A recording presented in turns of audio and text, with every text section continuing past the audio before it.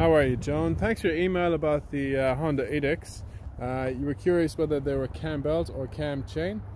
I can tell you that the 2 litre one, which is the one that you included in the email, is a cam chain.